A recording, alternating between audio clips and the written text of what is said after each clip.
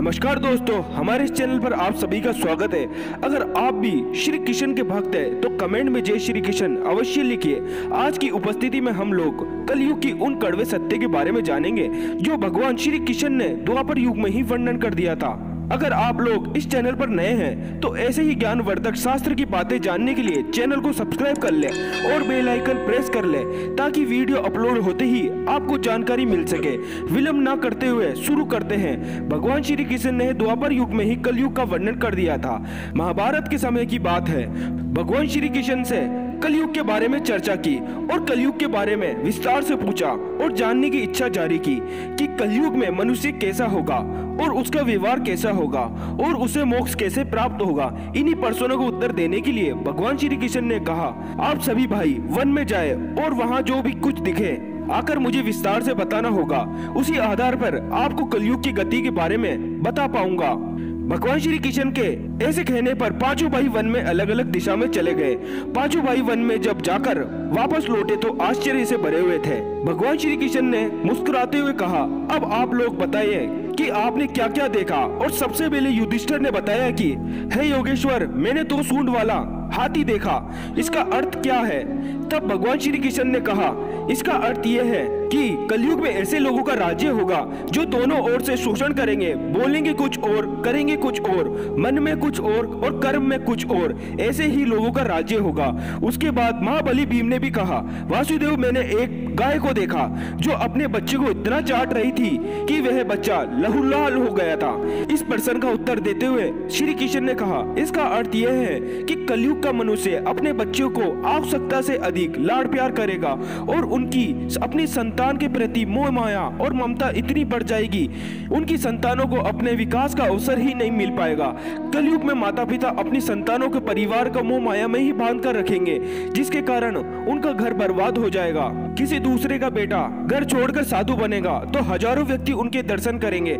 किंतु यदि अपना ही बेटा साधु बनता होगा तो रोएँगे कि मेरे बेटे को क्या हो गया, और उसने क्या कर लिया। माता पिता की इतनी सारी ममता होगी कि उसे मोह माया में और परिवार में ही बाँध कर रखेंगे और उसका जीवन वहीं खत्म हो जाएगा। अंत में बेचारा अनाथ होकर मरेगा।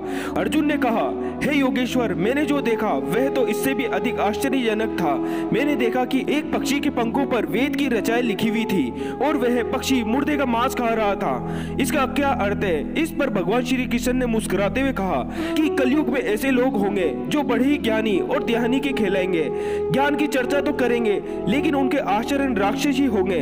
बड़े पंडित और विद्वान कहलाएँगे किंतु वह यही देखते रहेंगे कि कौन सा मनुष्य मर जाए और हमारे नाम पर संपत्ति कर जाए, चाहे कितने भी बड़े लोग होंगे, किंतु उनकी दृष्टि दूसरे के धन और पद के ऊपर ही रहेगी।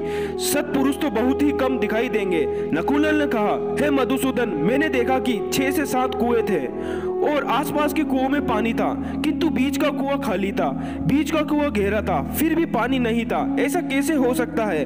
और इसका क्या अर्थ है? इस पर भगवान श्री कृष्ण बोले, कलयुग में धनी लोग लड़के और लड़की के विवाह के छोटे बड़े महोत्सव में सत्ता के लालच में बहुत ज़्यादा पैसा खर्च कर देंगे।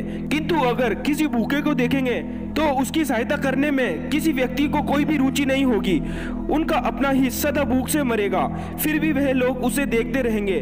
दूसरी ओर मौज मस्ती, मदिरा पान, मांस खाना, सुंदरता और व्यासन में पैसे उड़ा देंगे। किंतु किसी के दो आँसू पहुँचने में किसी को कोई भी रुचि नहीं होगी। कहने का तात्पर्य यह है कि कलयुग में अन्न का भंडार तो होंगे, लेकिन लोग भूख से मर जाएँगे। सबसे अंत में सहदेव ने कहा, वासुदेव, मैंने देखा कि एक बहुत बड़ी चट्टान पर्वत से गिरी और उसे बड़े से बड़े वृक्ष भी नहीं रोक पाए। किंतु एक अत्यंत छोटे से पौधे का स्पर्श होते ही वह चट्टान वहीं पर स्थिर हो गई।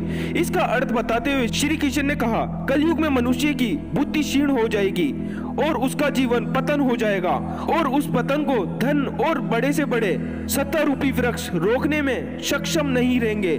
किंतु हरि के नाम से छोटे से पौधे मनुष्य के जीवन का पतन होना रुक जाएगा और कलयुग में हरि नाम ही मोक्ष और मुक्ति का एकमात्र मार्ग होगा। लेकिन जो लोग ऐसे आदतों से दूर रहेंगे, उस पर कलयुग का नहीं, बल्कि परमात्मा का प्रभाव होगा।